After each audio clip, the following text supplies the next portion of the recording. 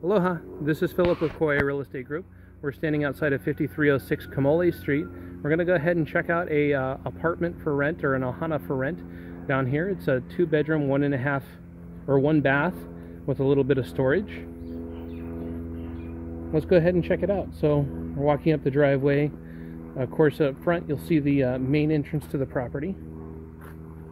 We're going to go around the back here to where there's a separate entrance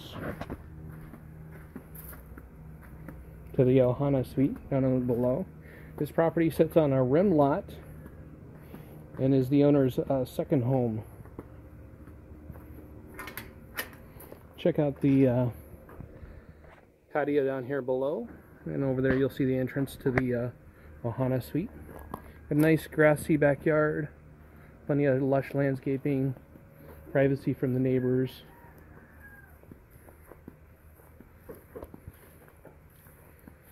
And then of course you can have nobody in back of you beautiful mountain views rim lot. Just a great picturesque nice serene place to relax and enjoy.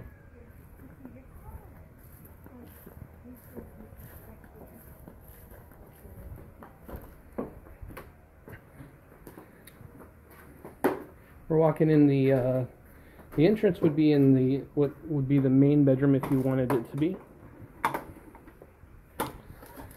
We've got gorgeous wood floors. The property is available both furnished and unfurnished. You've got a queen size bed in here. Nice little kitchenette kind of deal. There's no hookup for a uh, stove. So you would have to uh, use like either a hot plate or a microwave. Over here you got a full closet, wardrobe. Over to the left you'll see the door that connects it to the rest of the house, so that would be a lock off. Your bathroom, full tub, nice tile, hard surface countertop. And then again, you've got another, a second bedroom, or you could turn this into an office or a uh, uh, living room if you wanted to. You've got two storage closets, wood floor. Our views out here, going to be the neighbor's fence. And then out front, this faces the front of the house. Nice green private landscaping. So either one of these could be turned into the bedroom or the living room, and you have a little studio. We hope you like this. If you have any questions, give us a call.